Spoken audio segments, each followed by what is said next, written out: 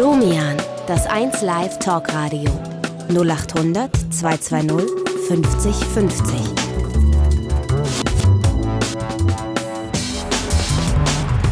Domian, im WDR Fernsehen und in 1 Live. 0800 220 50 50. So, liebe Leute, wir sind wieder da. Wir melden uns zur Stelle. Willkommen bei Domian, willkommen beim 1 Live Talk Radio. Ich hoffe, ihr hattet schöne Ostern und wir freuen uns sehr, wieder hier zu sein. Und äh, ich hoffe, ihr freut euch auch ein bisschen, dass wir wieder da sind. So, wir, begannen, wir beginnen wie immer, äh, so auch heute, äh, am Montag mit einer freien Themennacht. Und wenn ihr gerne mit mir sprechen wollt, dann meldet euch. Telefonnummer 0800 220 50 50, wie immer kostenfrei für euch. Oder mailt uns domian.wdr.de. Und bitte nicht eure Telefonnummer vergessen, in die Mail reinzuschreiben. So, es geht los mit Stefan. Und Stefan ist 46. Hallo Stefan. Ja, schönen guten Morgen, Jürgen. Ähm, ja, weswegen rufe ich bei euch an? Zu Genau. einem ganz aktuellen Thema, nämlich Osama Bin Laden. Oh ja, das ist natürlich Auf das Top-Thema heute gewesen. Aus einem ganz bestimmten Grund wahrscheinlich anders, als die meisten jetzt annehmen mögen. Ich habe heute auf Pro7 auf einer Videotextseite eine Zuschauerumfrage ähm, gelesen und da ist mir, ich bin da erst sehr, sehr nachdenklich geworden und da ist mir die Hutschnur hochgegangen, nämlich mit dem Text oder die Frage, äh, Al-Qaida-Chef Osama Bin Laden ist tot. Feiern Sie heute? Mit den äh, Antwortmöglichkeiten, Sie äh, stimmen für mit Sicherheit oder eher nicht oder halt mir egal. Ich finde das unmöglich. Und Seit wann ist in diesem Land ein Tod eines Menschen, egal was er getan hat, ein Grund zum Feiern? ja, wie ist denn die, die Umfrage ausgegangen? Äh, die ist noch am Laufen. Also Ach so. 44 Prozent haben, das sind zwar nur 98 Leute, haben mit, ähm, mit äh, Sicherheit geantwortet Mhm. und die andere Hälfte dann äh, eher nicht. Ich finde es auch viel schlimmer, dass eigentlich auch die Antwortmöglichkeiten eher so implizieren oder suggerieren, dass es einen Grund zum Feiern gäbe. Ich gehe mal davon aus, dass du die Bilder aus den Vereinigten Staaten gesehen hast, wie sehr die Menschen dort feiern. Die haben mich mega erschreckt. In Amerika, in Washington, in New York. Äh, es ist fast eine volksfestartige Stimmung gewesen. Was, Ja, denkst, was, was denkst du denn dazu, dass, dass er ähm, umgebracht worden ist? Ähm, ich finde das sehr bedenklich, weil ähm, es gibt immer noch internationales Recht. Ich würde es in Ordnung finden, wenn der meinetwegen vor einen internationalen Gerichtshof gestellt worden, äh, worden wäre, statt einfach, ich sag mal so, ähm, wo leben wir heutzutage, dass ähm, irgendein Staat, wenn Leute unliebsam sind, egal was sie gemacht werden, vier Hubschrauber irgendwo hinfliegen, äh, fragen noch vorher, ist er das? Und dann wird jemand hingerichtet. Und dann wird Ja. heutzutage in der deutschen Presse noch so ganz wohlwollend auch noch er erzählt, dass er ja nun auch noch eine Seebestattung gekriegt hat. Na toll. Also Äh, er, er, zählt ja zu den gefährlichsten Menschen der Welt. Er hat, wenn es denn alles so stimmt, sehr, sehr, sehr viel Leid äh, zu verantworten. Wenn das wirklich alles so stimmt, weiß man das wirklich? Naja, von vielen Sachen geht man schon aus oder wo auch Bekenntnis, äh, Statements von, von, von, von seiner Seite, von seiner Organisation gekommen sind. Ähm, Ähm, gut, äh, mag ja alles sein, aber bei mir ist jetzt die, Haupt, äh, die Hauptüberlegung, in was für einem Land leben wir eigentlich, wo wirklich so suggeriert wird, das wäre jetzt, also jemand wird umgebracht und man müsste jetzt feiern. Also ich habe keine Flasche Bier deswegen aufgemacht heute. Für mich ist das auch kein Grund zur Freude. Ja. Ähm, Wirklich. Ich nun, weiß nicht, ob du jetzt einen Pilz heute aufgemacht hast, deswegen. Ich nehme nein, natürlich nicht. an. Natürlich nicht. Ich Ich, schätze äh, mich auch nicht so ein, Entschuldigung. Nein, nein, natürlich nicht. Ich, ich muss ja sagen, ich habe auch ein, ein zwiegespaltenes Gefühl. Natürlich bin ich froh, dass es diesen Mann nicht mehr gibt. Das muss ich sagen. Ähm, andererseits ähm, ist ist es schon ein merkwürdiges Unter Unternehmen gewesen. Äh, eine, eine, eine fremde Macht geht in einen fremden Staat, nämlich nach Pakistan, und äh, liquidiert dort eine Person, ohne dass Ja. dieser Staat so zu hören informiert worden war vorher darüber. Das ist schon merkwürdig. Äh, Das befremdet mich auch etwas. Heute Abend war Helmut Schmidt äh, im Fernsehen bei Beckmann, Ja, habe ich gesehen. der das ja in ähnlicher Weise auch so gesagt hat. Äh, Mhm. Das ist ja auch ein, ein, eine schwierige Sache. Natürlich wäre es wahrscheinlich für die ganze Welt und auch für das Renommee der Amerikaner viel besser gewesen, wenn sie ihn gefangen genommen hätten und vor einen internationalen Gerichtshof gestellt hätten. Das glaube ich auch. Definitiv. Nun weiß man ja nicht, was da alles abgegangen ist. Vielleicht war es wirklich eine, so eine, eine haarige Situation, dass man schießen musste und dass er dabei umgekommen ist. Wir, wir wissen das ja alle nicht. Wir sind ja angewiesen auf die, auf die äh, Auskünfte der Amerikaner. Ja, und die geben wahrscheinlich, ich, ich vermute das mal, ich, oder ich unterstelle das jetzt einfach mal so, wahrscheinlich auch nur das an die Öffentlichkeit. Natürlich, natürlich. Wo, wobei sie halt gut aussehen. Ja. Was ich zum Beispiel nicht glaube, ist, dass die Amerikaner ganz würdevoll diesen Leichnam äh, zur See bestattet haben, wie es heute zu ja. lesen war. Es war zu lesen, ja, so. dass, dass äh, er traditionell islamisch gewaschen worden sei dass dabei äh, heilige Texte gelesen worden sind. Dann soll der Leichnam eingepackt worden sein in ein Leinentuch und dann bestattet. Also bei allem Respekt den amerikanischen Freunden gegenüber, ich glaube, dass die sich sicherlich nicht diese Mühe gemacht haben. Ich weiß ich es aber auch nicht. Ich denke mir wirklich mal, äh, ich sag mal so, die italienische Mafia macht auch Seebestattung, nur die sehen dann anders aus, halt mit Betonfüßen oder du weißt schon, wie ich das meine. Ne? Also ich glaube das auch nicht. Ähm, Grundsätzliche Frage noch an dich, Stefan. Äh, es gibt ja die, die, die große Problematik des Tyrannenmordes. Das ist jetzt bei dem Osama Bin Laden ein bisschen was anderes. Äh, äh, generell gefragt, befürwortest du das oder befürwortest du das nicht? Mm, inwiefern meinst du das jetzt? Na, also ich, ich befürworte zum Beispiel, also wenn man gezielt hätte Hitler erschießen können oder umbringen können, wenn man gezielt hätte Stalin umbringen können, wäre sehr, sehr, ähm, sehr viel Leid auf dieser Welt den Menschen erspart geblieben. Wahrscheinlich ja. Und das sind so, so äh, Fälle, wo ich sagen würde, ja, das ist moralisch auch legitim, obwohl man einen Menschen tötet. Aber da würde ich so, es abwägen. Es gab damals halt keinen internationalen Gerichtshof, vor dem man hätte zum Beispiel Stalin oder Adolf Hitler hätte stellen können. Na, es gab die Nürnberger, Nürnberger Prozesse, also das schon. Ja, ich denke mir, die Amerikaner machen heutzutage teilweise Dinge, wodurch äh, wo ich bin wirklich nicht rechtsradikal, um Gottes Willen. Ich bin sehr sozial, ein sehr sozialer mhm. Mensch. Und ähm, aber ich denke mir, die machen heutzutage Dinge, wofür Leute 1945 in Nürnberg aufgehängt worden sind. Ernsthaft. Also, ich merke schon, du, du, du zählst zu, wahrscheinlich zu vielen Leuten, die äh, zumindest ein, ein zwiespältiges Gefühl haben, ein gemischtes Gefühl haben. Äh, also heute heute gab es. Über, ich habe mich viel mehr darüber aufgeregt, dass auch deutsche Sender sowas mitmachen und letztendlich so äh, einem so, ich sag mal so, ähm, ja, einem das Gefühl vermitteln, man müsste jetzt feiern. Man muss diese Sender ja nicht gucken. Nein, ich habe es doch nur gelesen, um Gottes verstehe. Willen. Ja, ich verstehe. Heute war interessant auch noch, es gab einen Bericht in, im ZDF oder ich weiß nicht irgendwo, äh, aus, äh, aus Ägypten und äh, man machte eine Straßenumfrage.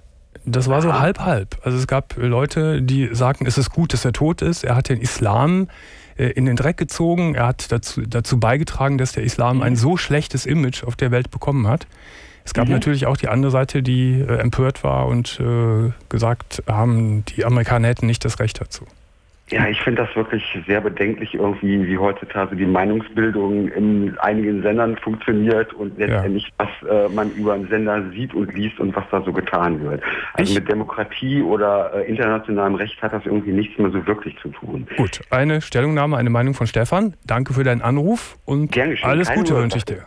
Stefan, ja, bye bye. bye. tschüss. Danke, tschüss. So, ihr Lieben, offene, offene Themennacht 0800 220 50 50. Wer gerne hier mit mir reden möchte, egal über welches Thema, sei es ein allgemeines Thema oder was Persönliches, dann meldet euch unter der bekannten Nummer oder mailt uns domian.wdr.de. Hier ist Marianne und Marianne ist 38. Guten Morgen, Marianne. Guten Morgen, Domian. Marianne, schön, Hallo. dass du da bist. Um was geht's? Äh, also mein Thema ist meine wiederentdeckte Sexualität nach, ähm, ja, nach langer Zeit, sag ich mal. Nach wie viel Zeit? Äh, ja, eigentlich hatte ich keine eigene. Nie? Nicht wirklich. Was für eine Art von Sexualität hattest du denn, wenn du keine eigene hattest? Ähm, ich habe mehr oder weniger die der, also ich hatte eigentlich keine eigene. Ich habe das erst durch langjährige Therapie äh, wiederbekommen. Wie hast du denn Sexualität in, in deinem Leben bisher gelebt? Gar nicht. Also du hattest keine Partner? Ich hatte Partner, ähm, ich habe die Sexualität von denen mitgelebt, ja. Aber keine eigene irgendwo. Ich habe ähm, mich nie fallen lassen können in einer Partnerschaft. Ja. Das heißt, du hast in all den Jahren früher bis vor kurzem auch keinen Orgasmus gehabt. Okay, das ist was anderes. Also dann hatte ich doch eine eigene Sexualität. Aber ähm, eine, vor der ich, für die ich mich geschämt habe, sag ich mal so. Was ist denn jetzt eigene Sexualität? Was ist dir denn klar geworden? Also mir ist klar geworden, dass ich ähm, okay. Liebe bekommt man nicht über Sexualität, weil also ich weiß nicht, inwieweit du informiert worden bist. Ich habe also ähm, Nein, ich weiß gar nichts. Also ich habe mit fünf das erste Mal was Sexuelles erlebt und ähm, konnte das nicht einordnen, bin dadurch traumatisiert worden. Also ein Missbrauch? Ja, ja. genau. Von wem? Äh, in meinem Albtraum, sag ich mal, ist es ein Fremder und ähm, meine Schwester sagt, es wäre mein Vater gewesen. Ist das einmalig geschehen? Keine Ahnung. Ich kann es dir nicht sagen. Also Ja. ich erinnere mich nicht. Das ist natürlich. Du erinnerst dich nicht, aber du erinnerst dich doch. Woher weißt du es dann? Also ich habe mit 28 in meiner, ähm, also es ist jetzt knapp zehn Jahre her, da habe ich geträumt, dass ich in einen Weg gegangen bin und da war ein Rollstuhlfahrer. Der hat dann mich zu sich in sein Haus gelockt und lag plötzlich auf mir. Das war aber ein Traum. Das war ein Traum, der immer wieder kam. War dein Vater Rollstuhlfahrer? Nein. Und wieso äh, ziehst du denn die Verbindung, dass dein Vater dich mit fünf Jahren sexuell missbraucht hat? Also unsere Familie ist ja, sag ich mal, nicht in Ordnung. Und meine Schwester hat zu mir gesagt, dass mein Vater das ähm, mit uns gemacht hätte, also dass er uns angefasst hätte. Ach so, die Schwester hat Mhm. auch. äh, Die Schwester kann sich konkreter erinnern. Richtig. Ah ja. Aber äh, sie redet da nicht drüber, sie möchte auch gar nicht darüber reden und Mhm. ich musste allein durch, ne? Gab es dann später nochmal Erfahrungen dieser Art? In, Ja. von welcher Seite aus? Ähm, ich bin mit 14 ähm, in, diese, in eine Situation gekommen, äh, wo ich nicht ein- und aus wusste und da bin ich an Menschen geraten, die äh, ja, mich auch verkauft haben. Das ist Die dich verkauft haben mit 14. mhm. Da warst du doch noch ein Kind und bei deinen Eltern. ja, also es ist, ein, es ist eine lange Geschichte und ich sag mal so, äh, das geht noch sehr viel weiter. Wer hat dich denn verkauft? Wer war das konkret? Ähm, das waren zwei junge Männer. Und ich bin mit meiner Mutter in Urlaub gefahren, in den Sommerferien. Sie hat den Mann mal kennengelernt und hat mich dort gelassen. Ähm, wie oft ist das passiert mit dem verkauft worden sein? Es ging über vier Wochen. Ja. Deine Mhm. Mutter hat nichts davon mitbekommen. Mm-mm. Ich habe mich geschämt. Ich habe gedacht, es war eine eigene Schuld. Und diese Männer, die Bekannte von deiner Mutter waren, die haben dich dann wiederum als 14-jähriges Mädel an irgendwelche anderen verkauft und dafür Geld einkassiert. Richtig. Das heißt, du bist über mehrere Wochen vergewaltigt worden. Mhm. Mit 14. Mhm. Da hat man alles klar vor Augen und das vergisst man nicht mehr. Nie wieder. Nie wieder. Mhm. Du bist dann ähm, im Laufe der Zeit in, in, auch in Beziehungen gewesen, hast du gerade angedeutet. Mhm. Richtig. Und äh, habe ich das richtig verstanden, dass du da so die Sexualität einfach über dich hast ergehen lassen, die deine Partner von dir haben verlangt? Also ich habe so funktioniert, wie man es Mhm. erwartet hat. Und jetzt? Was ist jetzt? Ja, jetzt habe ich jemanden gefunden, der ähm, mich so liebt, wie ich bin. Mhm. Ähm, Seit wann hast du diesen Menschen gefunden? Im November. Naja, Mhm. zum ersten Mal das Gefühl, so, da ist jemand, der liebt mich, wie ich bin. Ja. Ich fühle mich sicher und geborgen. Welche Auswirkungen hat das auf Sexualität? Ich kann mich fallen lassen. Ich kann überlegen, was ich möchte. Mhm. Welche Bedürfnisse ich habe. Was entdeckst du jetzt neu? Gefühle. Die hattest du gar nicht so sehr früher, Gar nicht. obwohl du zu einem Orgasmus schon gekommen bist.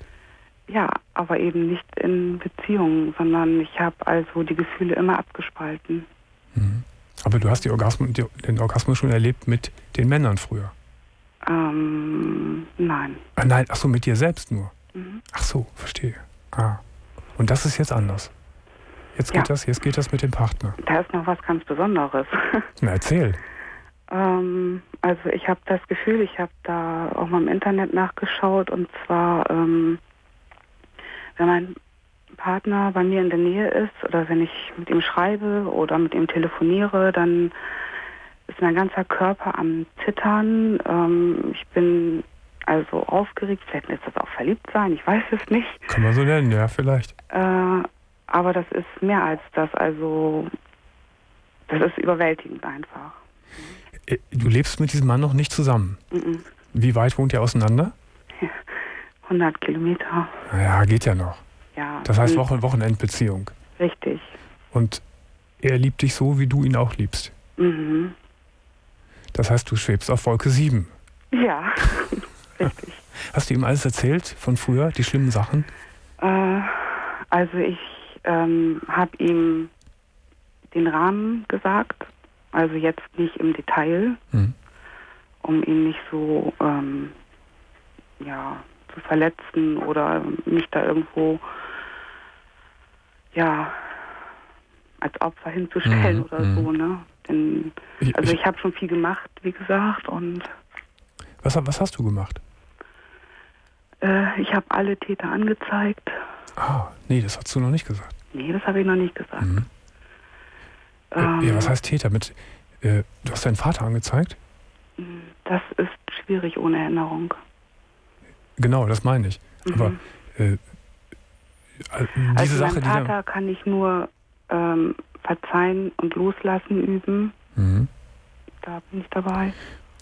ähm, das, was da mit 14 Jahren passiert ist, äh, konntest du diese Menschen noch anzeigen, die das damals mit dir gemacht haben? Also es ist ermittelt worden und es ist aber aufgrund äh, der Beweise, die fehlten und äh, weil ich nicht gesagt habe, dass ich dort bedroht worden bin, also nicht direkt bedroht worden bin, äh, ist es fallen gelassen worden. Also ist äh, strafrechtlich nichts rausgekommen aus der ganzen Sache, aber du hast es getan, das ist ja wichtig. Das war genau der richtige Schritt. Ja, glaube ich auch. Warst du auch in therapeutischer Behandlung? Also seit 2005 Mhm. und ähm, ja, die Therapie läuft langsam aus. Ja. Aber das ist ja eigentlich eine tolle Erfolgsgeschichte, die traurig angefangen hat, und schlimm angefangen hat. Mhm. Und dann hast du den Dreh so hingekriegt für dich und findest dann auch noch ein, eine, eine tolle und große Liebe. Das ist ja ein Glück. Also ich habe gestern auch irgendwo schon ja Freudentränen gehabt, weil das so ein glückliches, tolles Gefühl ist. Ja. Ähm, hm. Ähm, Und ich wollte eigentlich auch anderen Frauen Mut machen, die vielleicht eventuell, keine Ahnung, auch nicht gesund sind, auch eventuell da was für sich zu tun. ja. Zu einem Therapeuten zu gehen, sich jemandem anzuvertrauen, erste Schritte zu wagen. Der Hm. Weg ist weit, aber er lohnt sich. Ja. Mhm. Lebt dein Vater, leben deine Eltern noch? Ja. Wie ist das Verhältnis zu den beiden? Also mh, zu meinem Vater habe ich jetzt, ähm, also ich hatte zu beiden oder habe zu beiden eine Beziehung, zu meiner Mutter eher so telefonisch. Hm. Und zu meinem Vater, da habe ich mich vom abgegrenzt, ähm,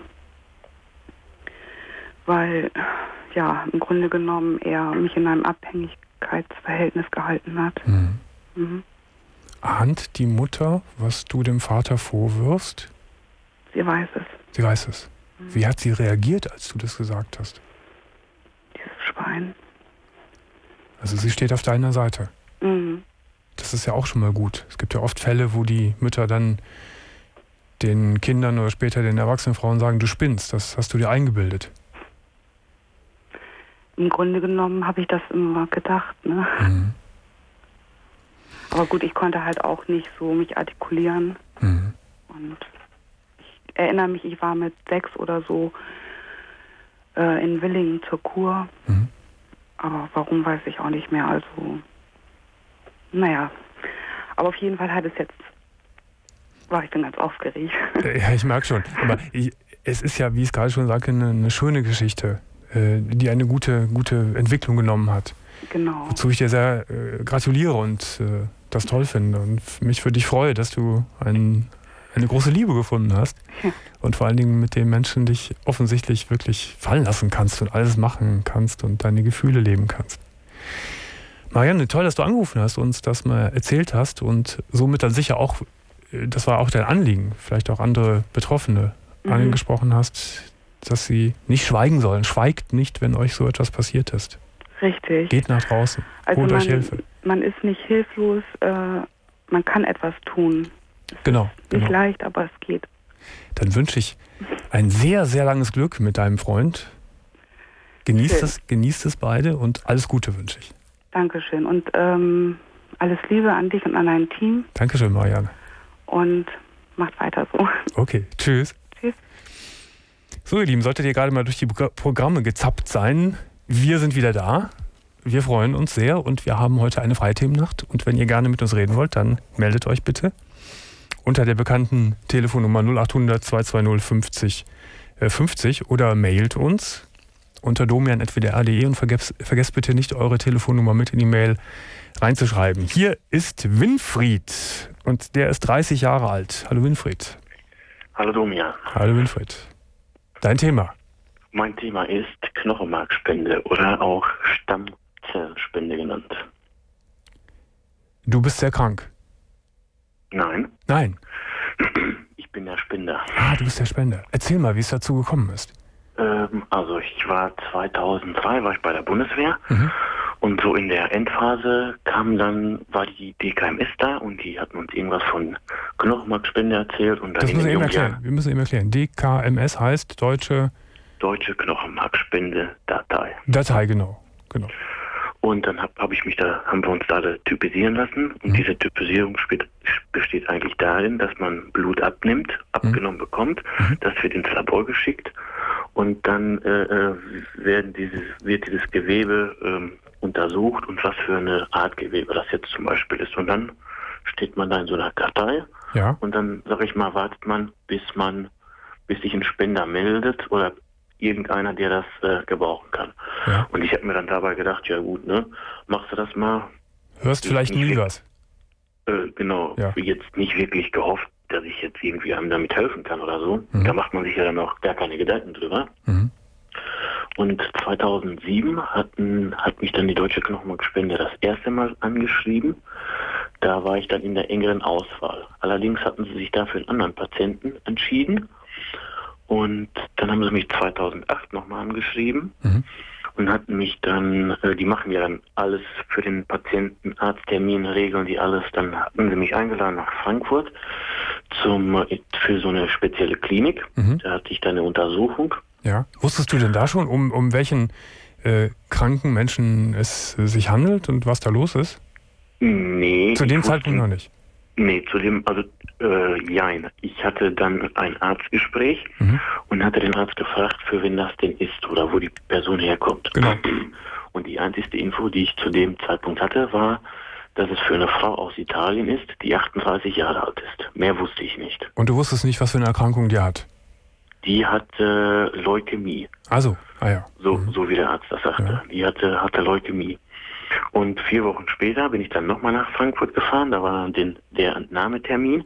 Ja. Und dann äh, kriegst du in den linken Arm und in den rechten Arm so einen Schlauch. Mhm. Aus dem einen Arm läuft das Blut in so einen Automaten. Mhm. Da wird das dann von den Zellen quasi getrennt Mhm. und in der anderen Hand läuft es wieder rein. So ein Vorgang dauert ungefähr maximal drei bis vier Stunden. Kommt jetzt immer auf die Körperstatur auch an. Ja. Aber der, Ja, wird, der wird nur, ich sag mal, ganz laienhaft äh, Blut abgezapft.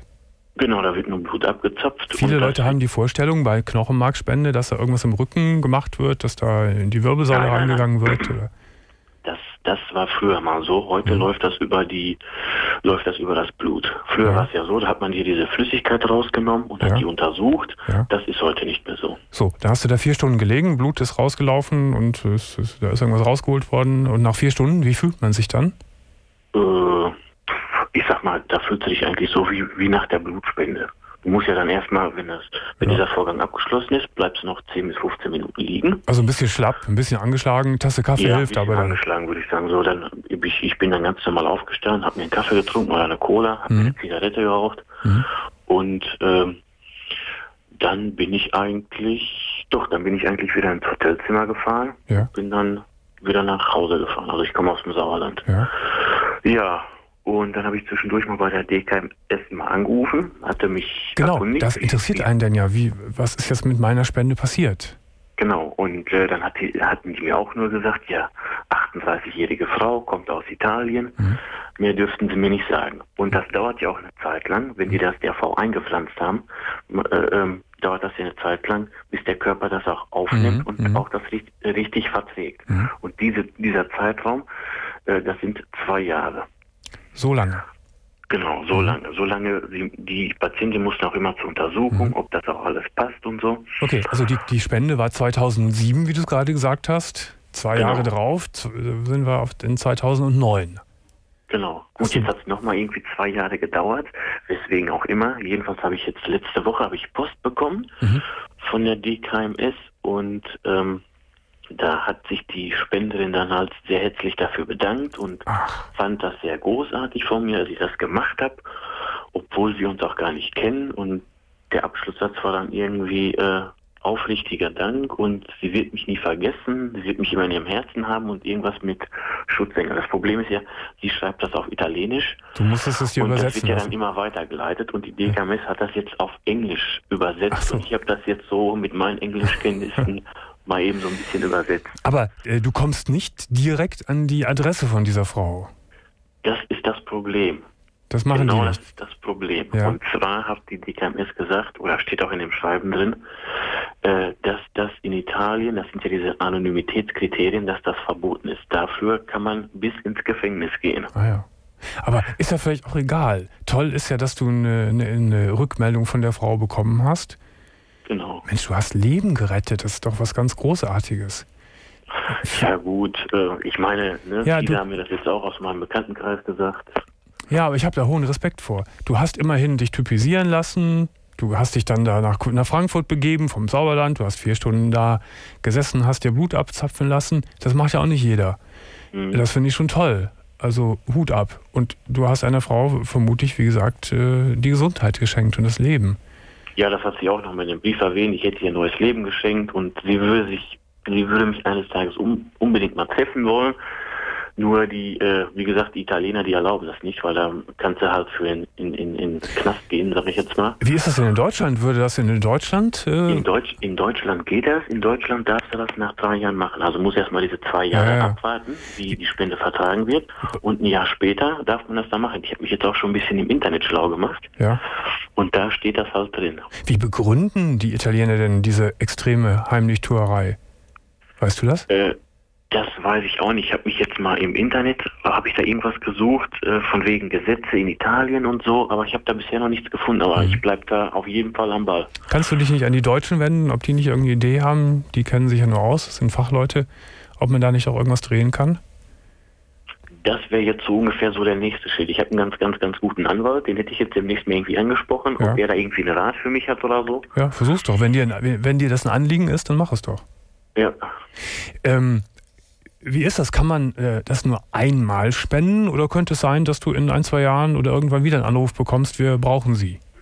Es könnte sein, ähm, dass da, also man kann da mehr spenden. Das ist nun mal so. Nach der Spende bist du erstmal zwei Jahre gesperrt. Mhm.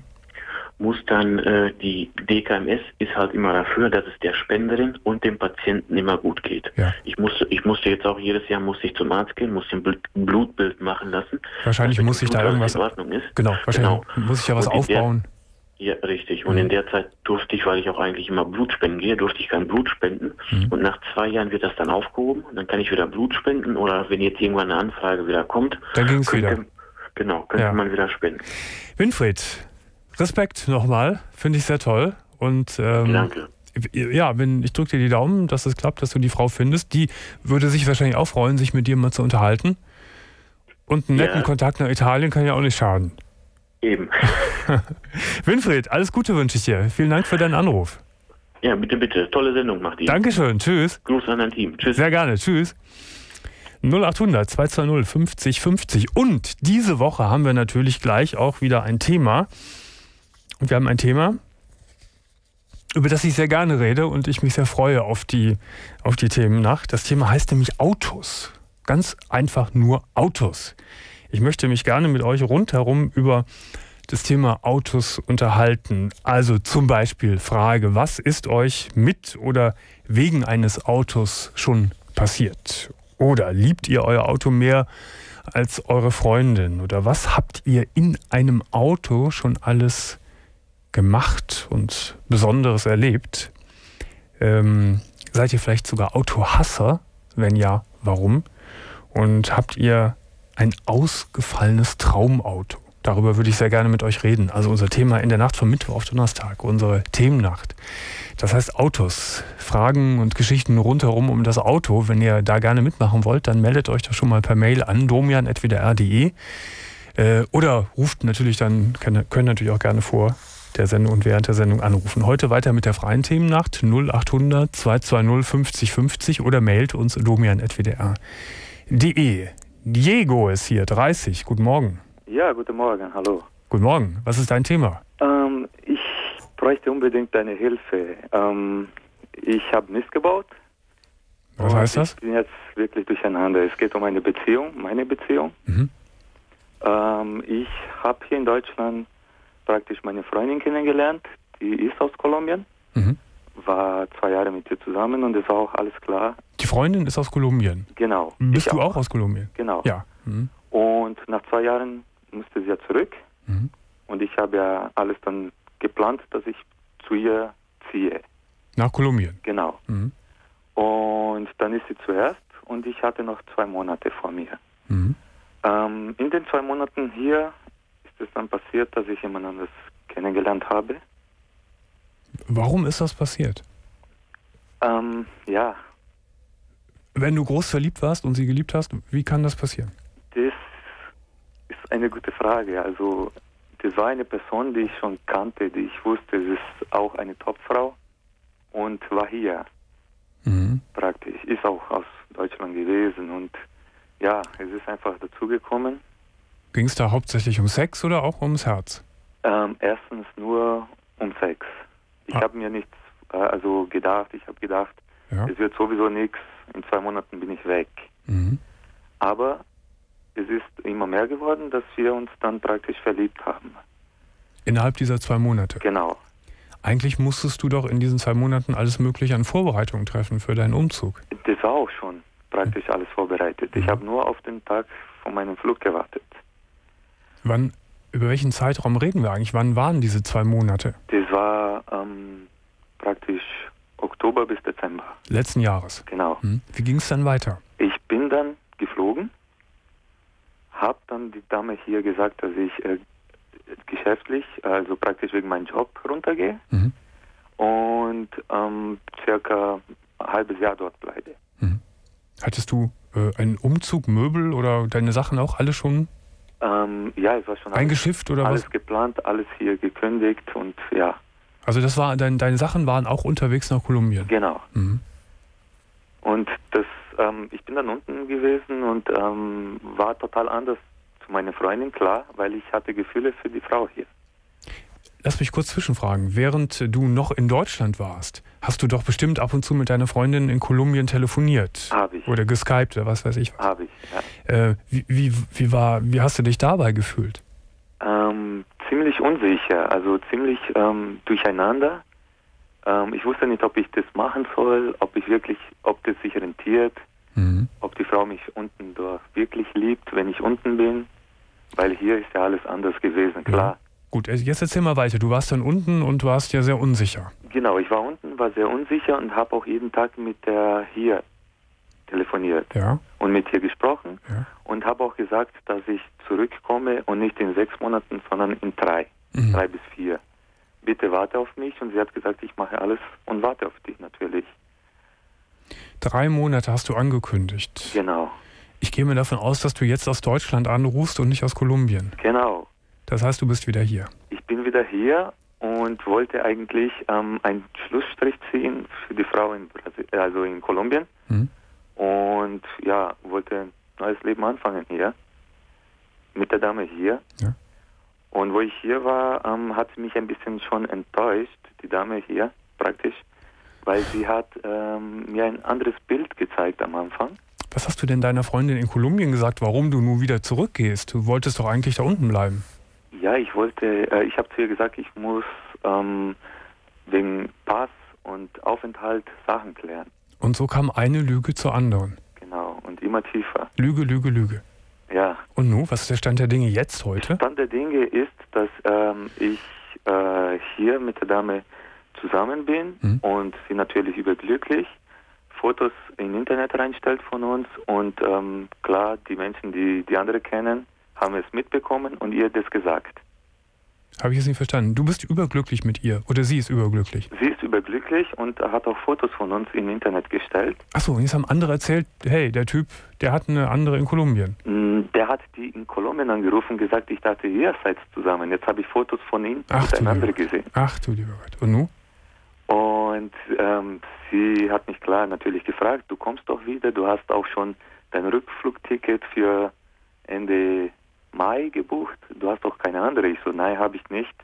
Das hat jetzt die Frau in Kolumbien gefragt oder Genau. die hier. Hm? Und hat jetzt die hier auch mitbekommen mittlerweile, dass du eine in Kolumbien hast? Ja, genau. So, und, je- Ja. und jetzt? Und jetzt? Und jetzt ähm, haben beide praktisch, also die dort, äh, ich sage zu die in Kolumbien, dass ich äh, das alles äh, lüge, klar, weil Mhm. ich sie nicht verletzen will, Mhm. weil sie auch noch ähm, eine Krankheit hat. Mhm. Und das geht mir am Herzen. Und die hier hat gesagt, du musst, äh, ich ziehe einen Strich drüber, wir fangen von null an, aber Ja. du musst dich entscheiden. So, das ist ja eine richtige Ansage. Klar, So, und äh, jetzt muss Diego sich entscheiden. genau. Und das ist ja das Problem, weil die beiden sind gleich. Ja. Vom Charakter, von Liebe, von der Person. Wobei du gerade so eine, so eine etwas kritische Bemerkung gemacht hast von der Frau jetzt hier in Deutschland, dass die doch nicht so toll ist, wie du sie am Anfang gesehen hast. Genau, aber das sind ähm, materielle Sachen, Dinge, die man ändern kann, wenn man länger zusammen ist. Mhm. Also das ist nicht so, Da- weil die, die dort, die, die raucht zum Beispiel nicht, die trinkt nicht, Ja. die macht keine Partys und die ist hier schon am Anfang, aber jetzt nicht mehr. Würdest du denn, würdest du denn sagen, im Prinzip bin ich, liebe ich beide gleich? Zu stark und ich will keine von beiden verletzen. Am liebsten würde ich alleine bleiben, aber Ja. jetzt wissen beide, beide lieben mich sehr, 100 Prozent. Die haben auch gesagt, Was, was sagt denn die jetzt in, in, in Kolumbien? Hat die dir auch ein Ultimatum gestellt? ja, hat sie. Sie hat gesagt, sie kann nicht äh, damit leben, Ja. dass sie nicht weiß, ob das stimmt oder nicht. Wenn ich zurückkomme, Ach so, du hast es ihr noch nicht kl ganz klar gesagt, dass es stimmt. nein, Weil du sie ja nicht verletzen willst. Ja, und wenn ich das sage, dann wird sie natürlich klar mich, äh, mir nie mehr vertrauen und dann ist sowieso alles. Ja, aber weißt du, Diego, wenn man sich schon in so eine Lügen Schlangengrube begeben hat, dann hilft, gibt es nur ein einziges Gegenmittel, in dem man alle, allen Beteiligten wirklich die reine Wahrheit sagt. Und da kommen wir nicht mit, ich will sie nicht verletzen und so. Ja, Das ist Feigheit. ja, Das, ich das weiß. klingt toll, aber es ist feige. Ja, So, und dann kommt da eine ganz andere Dynamik in das, in das Spiel rein, wenn alle Bescheid wissen. Vielleicht sagen beide Frauen Tschüss, dass du gar keine hast, kann sein. ja. Das wäre mir lieber, aber beide haben gesagt, egal was passiert ist, wir lieben dich äh, und wir ziehen, äh, wir fangen von null an. Aber Na gut. Ja, aber du musst, das haben sie schon gesagt, du musst dich entscheiden. genau. So, Und das höre ich von jedem, du musst auf dein Herz hören, du musst schauen, was am besten für dich ist, aber genau das ist es. das Problem ist ja, dass ich auch nicht in dein Herz reingucken kann, wen du mir mehr liebst. Ja, das ist ja die große Frage. Ja, Aber aus Respekt den Frauen gegenüber musst du eine Entscheidung treffen. ich weiß. Das musst du machen. So geht man nicht mit, mit, mit Menschen um, die man angeblich so verehrt und, und so liebt. Ja, das ist ja das. Und deswegen äh, habe ich auch mein Ticket für Freitag jetzt geändert. Ach, das war schon für Freitag geplant, dass du wieder runterfliegst. Nein, nein, es war für Ende, Ende Mai. Ja. Aber ich wollte die unten nicht verlieren und habe äh, das Ticket umgeändert. Auf? Für Freitag jetzt. Ach so. Genau. Das heißt, du, du, du se- setzt dich jetzt selbst unter Druck und also bis Freitag muss es entschieden sein. Genau, ich setze mich unter Druck, weil ähm, Das heißt, entweder sitzt du Freitag, diese Woche Freitag im Flieger und die Entscheidung heißt, ich gehe zu der Frau nach Kolumbien genau, und tschüss die Frau in Deutschland. genau, Oder du zerreißt das äh, Ticket und bleibst in Deutschland. genau. Und mein Herz sagt, bleib hier, hier wirst du glücklich. Äh, mein Kopf sagt, bleib hier, hier wirst du glücklich. Aber mein Herz sagt, dort ist die Frau für mich. So, dann kann ich dir sagen, wohin du gehen musst. Ja, Dann gehst du nämlich nach, dann gehst du nach Kolumbien. ja, wenn denn dein Herz das sagt, das Herz weiß immer besser Bescheid als der Kopf. aber dann darf ich mich nie mehr hier in Deutschland blicken. Warum? ja, weil mein Gesicht ist dann Ja, nicht mehr da. Praktisch. nein, dann Ich kann mich nicht mehr in den Spiegel schauen oder zeigen. Ja, aber indem du der Frau dann sagst, okay, ich habe mich jetzt entschieden, ich gehe doch nach, nach Kolumbien, dann ist das für die Frau eine Katastrophe. Aber dann hast du es wirklich gesagt und du hast klare Verhältnisse in dein Leben gebracht. Ja, ich weiß. Du bist, du bist zögerlich. Ich weiß. Du lavierst. Ja, ich möchte keinen verletzen und ich liebe beide, das ist das Problem. Ja, aber du hast beide lange hinters Licht geführt. Das sind immer so die, die, die, die Aussagen, ich liebe beide, aber man ist beiden gegenüber nicht ehrlich. Ja, das habe ich zu meiner Mutter auch gesagt. Äh, man, die, ich habe zu ihr gesagt, wenn man kein Dieb ist und irgendwo hinfliegt und einen Koffer hat mit gestohlenen Sachen aus Versehen bekommen, dann kann man auch nicht sagen, ich weiß nicht, ich, hab, ich bin da reingefallen. Ja. Und so bin ich wieder reingefallen. in Eine wichtige Frage ist ja auch, wo, wo möchtest du denn perspektivisch gerne dauerhaft leben? Eher in Deutschland oder in Kolumbien? Weiß ich nicht. Ja, ist ja auch eine wichtige Frage, finde ich. Also nur, nur von Liebe und Luft. Klar, Ist ja also meine Mutter wünscht sich, dass ich hier bleibe bei ihr. Die aber, Mutter wohnt in, in Deutschland, ja. Genau, aber hier und dort ist gleich für mich. So, Hab lieber. Diego, die Entscheidung musst du ganz ein, einsam für dich alleine treffen. Ich weiß. Kein Mensch der Welt und ich auch nicht kann dir da konkret helfen. Außer, außer dass man dir sagen muss, dass du dich entscheiden musst. Und das nicht auf keinen Fall noch länger mehr hin, hinzögerst. Du hast, das ist schon ein guter Trick mit, dem- mit dem Ticket am Freitag. Das setzt dich wirklich unter Druck, etwas zu entscheiden. Okay, Ich wünsche dir eine gute Entscheidung. okay. Eine richtig gute Entscheidung für dein Leben. Okay, super. Alles Gute. Danke. Tschüss. Ciao.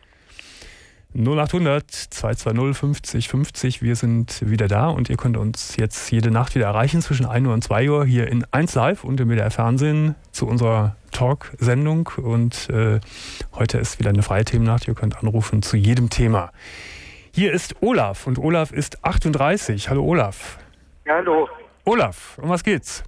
Ja, ich habe eine Arbeitskollegin und ähm, wir wohnen auch zusammen und da habe ich irgendwie Probleme, sage ich mal. Stopp mal, stopp mal, stopp, stopp, stopp. Äh, sprichst du mit Freisprechanlage?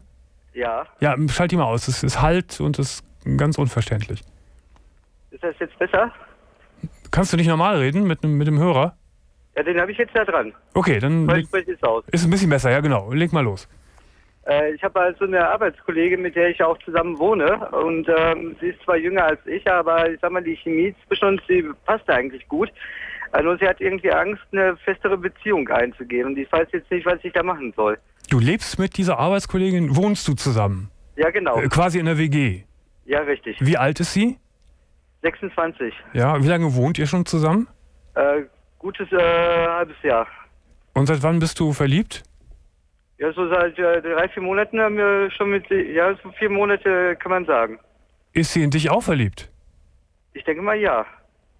Das Wenn wir äh, so Zeit haben zwischendurch, etwa am Wochenende oder was, dann haben wir, ähm, unternehmen wir auch viel zusammen und haben auch äh, eigentlich äh, Spaß dabei auch.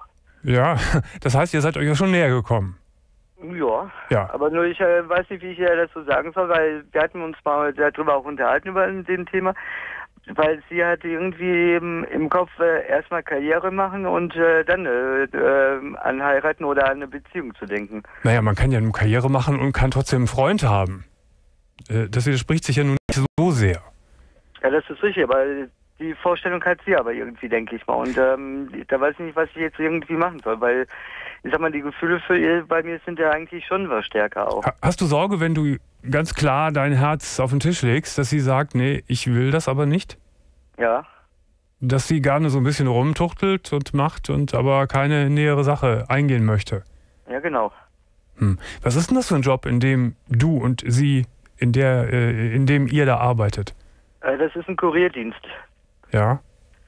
Das heißt also, wir fahren ähm, für zum Beispiel für die äh, Post oder so fahren wir Sachen und ähm, da sind wir eigentlich so, dass wir nachts äh, beide unterwegs sind und äh, tagsüber ähm, zu verschiedenen Zeiten halt. Verstehe. Oh, jetzt komm mal im Ernst. Das ist doch Quatsch, äh, davon äh, zu reden. Äh, sie will Karriere machen und äh, kann deshalb sich nicht auf eine Beziehung einlassen. Was ist das denn? Ist doch Unfug. Ja, das ist schon richtig, aber nur ich sag mal, sie hat ja damals ähm, wohl auch äh, Architekt, äh, Architektur studiert und ähm, sie will irgendwann auch mal später irgendwie sich selbstständig äh, machen, aber ich sag mal, das ähm, wird auch noch einige Zeit dauern, bis sie das mal machen kann. Ich sag mal, sie hat auch noch ähm, Sprachprobleme und wo ich ja aber auch bei helfe und so. Sie hat, aber, Moment, sie hat Spra Sprachprobleme? Welcher Art? Ja, sie ist ja deutschen Sprache noch nicht so ganz mächtig. Ach so, ach so, sie kommt aus dem Ausland. Ja, genau, sie kommt aus Litauen. Ah, verstehe. Ah ja, jetzt verstehe ich. Da hat man vielleicht andere Vorstellungen von Karriere machen und äh, versteht da auch ein bisschen was anderes drunter, als wenn wir, wenn wir das so formulieren. Genau. Könnte sein. Wie kam das denn überhaupt, dass ihr zusammengezogen seid? Also sie hatte vorher einen anderen Job gehabt und da hat sie eine Bekannte kennengelernt und weil sie da kein richtig Geld verdient hatte. Und da sagte sie, hier mal ein Bekannter von mir, der sucht noch Fahrer. Mhm. Wenn du willst, kann ich ja mal nachfragen und ähm, seitdem ist er eigentlich auch bei uns äh, dann äh, dabei, dass er mitfährt auch. Ja, aber wie kam es, dass ihr denn auch noch zusammengezogen seid? Das meinte ich. Äh, ja, weil sie eine ähm, kleine, nur ein Zimmer hatte und ähm, so. hatte auch keinen richtig Platz da drin gehabt. Okay. Und sie suchte halt selbst auch eine Wohnung noch. Also, ich fasse zusammen, da sind zwei Leute, die wohnen, die wohnen zusammen, die arbeiten auch zusammen. Er, Olaf, ist irgendwie schon ziemlich heftig verknallt in sie, ja. Die beiden machen auch so ein bisschen was miteinander und da, da funkt es auch ein bisschen. Aber der richtige Schritt hin zu einer Beziehung ist noch nicht passiert, weil du Angst hast, sie, sie äh, könnte dich abweisen. Ja, genau. Aber du bist sehr verliebt. Ja. Dann musst du es auch sagen. Ja, nur ich habe aber dann auch die Sorge, ich meine, wir haben wirklich, äh, die Chemie, die stimmt ja auch zwischen uns. Ja. Dass er dann sagt, äh, weißt du, weißt du, ähm, äh, Deswegen frage ich, Olaf, wie, wenn du sagst, du bist sehr verliebt, äh, das kannst du doch gar nicht unterdrücken. Du, arbeit, du arbeitest mit der zusammen. Fahrt ihr zusammen auch Kurier? Ähm, ja, wir fahren dieselben Strecken. Weil, ähm, aber nicht zusammen in einem Auto? Nein, nein. Nein, okay, aber ihr seht euch, äh, seht euch regelmäßig und, und, täglich in der Wohnung. Ja, genau. Ihr, ihr habt die Wochenenden frei. Du bist ja. verliebt, du hast die Frau immer zu wie den Speckwürfel vor der Nase. Äh, da musst du doch irgendwann was sagen, sonst wirst du auch verrückt. Oder du musst es so aus dir so, so unterdrücken und dich nach einer anderen Frau umsehen, dass du gar nicht in die Versuchung gerätst. Mensch, sag's ihr doch. Mal sehen, wie sie reagiert. Vielleicht ist die Sache schnell erledigt und, und sie sagt, und sie freut sich. Oder sie zieht eine klare Grenze und dann werdet ihr beiden euch auch schon wieder arrangieren können mit, mit der neuen Situation. Mhm. Also ich würde es ich machen, Mensch. Du bist 38 Jahre, du kennst dich doch im Geschäft des Verliebtseins sicher aus, oder? Das ist schon richtig, das ja. ist klar. riskiere es. Zur Liebe gehört auch immer ein Risiko eingehen. Mhm. Musst du machen. Vielleicht wird es ja gut. Und dann ist es das wert. Das ist schon richtig. Olaf, viel Glück. Ja, danke dir. tschüss. Ja, Ciao. Tschüss. Und Judith, 21, guten Morgen. Ja, hallo. Ach, hallo. Judith, du klingst aber traurig. Ja, aber ich heiße nicht Judith, ich heiße Julia, nicht Judith. Ich habe ich hab nicht verstanden. Das heißt Julia, nicht Judith. Ach, Julia, entschuldige bitte. Ja. Julia, schreibe ich es mir genau auf. Aber 21 stimmt. Ja. Und weswegen rufst du mich an? Ich bin gesagt ein bisschen aufgeregt. Ich bin, ach keine Ahnung. Also ich habe, ähm, ich habe das früher immer mit meinem Ex-Freund, wenn wir nicht schlafen konnten, haben wir die Nacht geguckt und jetzt ähm, habe ich dann ist mir das eingefallen. Dann habe ich gedacht, ich rufe halt an. Ich weiß mhm. auch nicht. Und was mir ist? ist jetzt voll unangenehm eigentlich. Ach egal, komm, red einfach mal drauf zu. Was ist denn geschehen? Ja, also er ist jetzt heute, ähm, heute, also jetzt, jetzt ist ja schon gestern, gestern am Nachmittag gestorben. Gestorben? Ja. An was? Also man weiß jetzt noch nicht so genau eigentlich. Muss man gucken. Also, ja, Wie, wie alt ist er gewesen? 29. 29 und er ist gestern Nachmittag gestorben. Mhm. Wie, also wie er wurde halt in der Wohnung gefunden, aber der ist wohl schon ein paar Tage vorher gestorben. jetzt habe ich am Anfang das nicht richtig verstanden. Wart ihr noch zusammen oder war es dein Ex? Nee, nee, nee. Das ist schon läng also lange vorbei. Also schon ähm, ein, zwei, äh, zwei, was haben wir jetzt? 2011. Ja, also eineinhalb Jahre, fast zwei Jahre. Ach so, Im Oktober zwei. Zwei Jahre zwei getrennt. Jahre. Und wie lange wart Ja. ihr da mal zusammen gewesen? Drei Jahre. Naja, immerhin, das ist ja keine kurze Zeit. Von wem hast du das erfahren, dass man ihn tot aufgefunden hat? Mhm. Ein Freund von ihm hat ihn gefunden und der hat seine Freundin angerufen und bei der war ich gerade zufällig. Also die hätte ich gerade zufällig auf der Straße getroffen. Und keiner weiß, was, was passiert ist? Ja, er war wohl halt krank, aber ähm, der ist dann, also jetzt kann man halt sagen, dass er irgendwie, keine Ahnung, ehrlich gesagt höre ich mich gerade drüber. Ich weiß nicht, ob man da einfach drüber reden kann. Das hören jetzt voll viele Menschen. Jetzt, ich weiß auch nicht, keine Ahnung. Ich mag auch nicht, ich weiß nicht. Ich hatte einfach das Bedürfnis, mit jemandem zu reden, der, den das nicht betrifft, weil alle um mich herum betrifft es irgendwie, aber Ja, ähm, keine Ahnung, ich weiß nicht, ob man da einfach drüber reden kann, weil es, mir fällt gerade auf, dass es ja auch Menschen andere hören und wenn es, ich weiß nicht, ob man einfach über jemanden Toten nicht so reden kann, keine Ahnung. Ich finde schon, dass man das machen kann, wenn man das respektvoll tut. Und äh, das wirst du ja tun. Äh, dann kann man da schon drüber sprechen. Und wir reden ja auch, auch natürlich über deine Situation und dein Gefühl. Äh, kann man denn sicher sein, dass kein Verbrechen vorliegt? Ja, ja, schon. Das der schon. an, also der ist wohl, was man bis jetzt weiß, halt irgendwie im eigenen Erbrochenen erstickt oder Mhm. so. Hm. Wie war denn, wir müssen ja gar nicht so sehr viel über ihn sprechen, sondern lass uns mehr über dich sprechen. Wie war denn dein Verhältnis in der letzten Zeit, nachdem ihr getrennt wart? Wie war, euer, wie war euer Verhältnis? Nicht mehr gut, also als wir uns getrennt hatten schon noch und dann, ähm, also wir hatten uns getrennt und dann war es auch gut und dann haben wir dummerweise Lieder was miteinander angefangen, Mhm. obwohl er auch schon jemand Neues hatte. Und ähm, dann ging das auch ein paar Monate lang und also sie wusste auch nichts davon. Und ähm, dann ist es halt irgendwann ausgeartet, eskaliert und dann haben wir uns eigentlich nur noch gestritten. Und das finde ich halt auch ganz furchtbar, weil es, also mir war es in der letzten Zeit, so das letzte Dreivierteljahr, was mir einfach egal. Ich war, also ich habe ihn nicht mehr wirklich groß gesehen und ich war jetzt, ich habe ihm nichts Böses gewünscht und nichts Schlechtes, aber ich war einfach froh, dass ich endlich meine Ruhe hatte. Und Mhm. Das- ähm, es war einfach so, dass ich, ähm, ja, keine Ahnung, und, aber das war halt, er war ja trotzdem noch da und Ja. jetzt ist halt so, jetzt denke ich mir, die letzten Gespräche, die wir hatten, haben wir uns gestritten und jetzt, ich weiß nicht, sonst hatte ich halt irgendwo Mhm. die Chance und wenn es in zehn Jahren gewesen wäre, mich vielleicht nochmal auszusprechen und jetzt geht es halt nicht mehr. Ja, äh, habt ihr die, das letzte Dreivierteljahr gar keinen Kontakt mehr gehabt?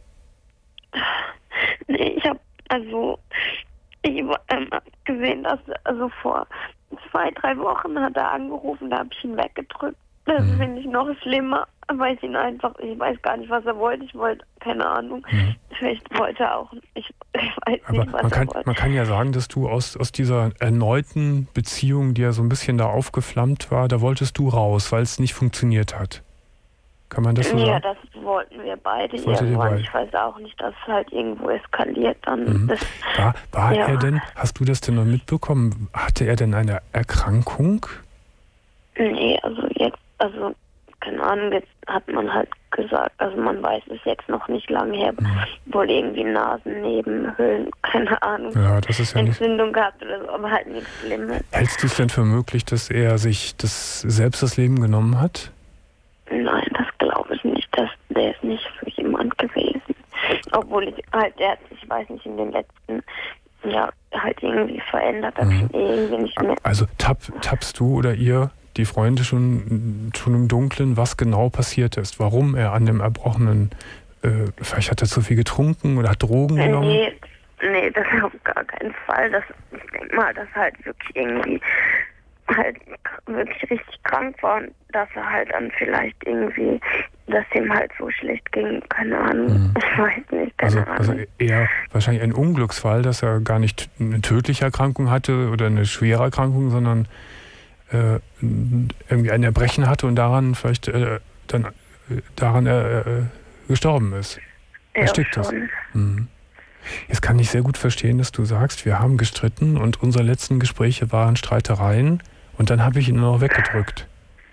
Nee, wir hatten gar nichts mehr miteinander zu tun, sonst die letzte Zeit, aber er hat halt angerufen irgendwann noch und äh, also wir hatten ewig jetzt nichts miteinander zu tun und er hatte irgendwann angerufen und dann, also ich keine Ahnung, vor zwei, drei Wochen und dann jetzt habe ich erst recht ein schlechtes Gewissen, dass ich ihn weggedrückt habe. Es war auch nicht, also ich habe das auch vorhin einer Freundin erzählt und sie hat gesagt, es hätte auch nichts geändert. Ich hätte wieder genauso, also ich hätte wahrscheinlich auch nicht freundlich mit ihm geredet, weil ich einfach keine Lust hatte die ganze Zeit mich auch, also Weißt du. Julia, ich glaube, ich glaube, das ist jetzt so ein, so ein Unglücksfall, den natürlich niemand vorhersehen konnte. Du bist jung, er ist jung, er war nicht krank, äh, dass so eine Katastrophe passiert.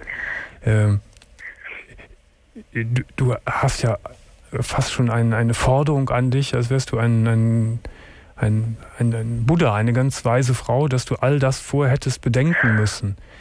Äh, Das kann man natürlich nicht. Ihr hattet, ihr, ihr hattet eine, eine kaputte Beziehung und ihr hattet nicht mehr viel miteinander zu reden, so wie das Tausende von anderen Menschen auch haben. Und dann will man sich ja erstmal ignorieren. Und dann ist das auch, glaube ich, völlig in Ordnung, wenn man dann auch mal jemanden wegdrückt. Das ist auch okay. Äh, Mir tut das auch. Ich weiß nicht, mir tut das jetzt auch für. Mir hat das nie, also seine neue Freundin, also ich hatte davor nichts mit ihr zu tun, also ich mochte sie davor schon nicht und das hatte nichts damit zu tun, dass sie danach zusammen sind, waren. Ich mochte sie dann schon davor nicht und ich mochte sie dann auch nicht. Hm. Aber jetzt tut mir das schon leid, weil er wohl erst vor einer Woche mit ihr Schluss gemacht hat und ich weiß, Mhm. wie es mir geht und mir war das letzte Jahr eigentlich egal und Ich- das ich glaube, ja, furchtbar Julia. für sie leid. Ich glaube ja, dass man natürlich im, im Nachhinein ist man immer schlauer. Im Nachhinein denkt man immer, ach, hätte ich das und das gemacht. Aber du wusstest ja die ganzen Zusammenhänge nicht, die, die dann passieren würden. Ganz objektiv gesehen brauchst du dir kein schlechtes Gewissen machen. Ich glaube allerdings, dass du unter großem Schock im Moment auch stehst. Da ist jemand gestorben, mit dem du zusammen warst und dann seid ihr auch noch im Streit auseinandergegangen. Da ist man natürlich, da ist man wirklich durcheinander und sehr traurig. Aber du hast ja gerade selbst was sehr Richtiges gesagt. Selbst wenn du rangegangen wärst, hättet ihr wahrscheinlich wieder gestritten. Wahrscheinlich schon. Also hätte Naja. man, hätte man es gar nicht richtig, hätte man es gar nicht richtig machen können. Wenn er gerade sehen würde, dass, wir, dass ich angerufen habe, er bestimmt furchtbar lachen, weil wir das so oft nachts geguckt haben, wenn wir nicht schlafen konnten. Ne? Mhm. Mhm. Er würde bestimmt, keine Ahnung. Hast, hast du denn jetzt mit ein paar Leuten, hast du ein paar nahe Menschen, die ihn auch kannten, mit denen du darüber reden kannst? Ja, schon, das finde ich noch schlimmer eigentlich, weil es mir, weil ich auch manchmal rede ich, also eigentlich geht es mir, die meiste Zeit ging es mir jetzt gut und dann ist so eine Phase, dann dann geht es mir total schlecht wieder, dann geht es mir voll nah und dann geht es mir wieder gut, aber ich möchte auch nicht die anderen Menschen, weil ich weiß, dass sie selber das betrifft auch. Mhm. Aber Meine wir- Mutter war zwar am Ende auch wirklich furchtbar sauer auf ihn, aber ich habe selber gesehen, wie sie vorhin zusammengebrochen ist. Mhm. Auch meine Mutter, für sie war das wie ein drittes Kind irgendwie die ganze Aber Zeit. Und das ist dann auch- möchte ich auch nicht mit den Menschen drüber reden, weil die selber so furchtbar traurig sind. Ja, das kann man aber schon, weil ihr euch gegenseitig auch, helfen könnt. Und dass man dann so zusammenbricht und so traurig ist und gar nicht mehr sprechen kann vor Weinen, das ist auch völlig normal, wenn man eine so schlimme Nachricht bekommen hat, Julia. Du hörst jetzt im Hintergrund die Musik. Das bedeutet ja, die Sendung ist vorbei. Ja, Aber ich möchte, dass wir dich auf jeden Fall jetzt gleich nochmal anrufen. Das macht mein Psychologe, der Inga. Und dann könnt ihr in Ruhe nochmal weitersprechen. Ja? Dann legst du bitte auf und wir melden uns gleich wieder. okay, das passt schon. Alles Gute, liebe. Julia. Wir, wir melden uns gleich. Du legst bitte auf. Tschüss. Tschüss. So, meine Lieben, das war's für heute in der Technik. Tobias Linke. Morgen sind wir wieder da. Freie Themennacht ab 1 Uhr und ab 0 Uhr könnt ihr anrufen unter 0800 220 50 50. Gute Nacht. Bis morgen. Ciao.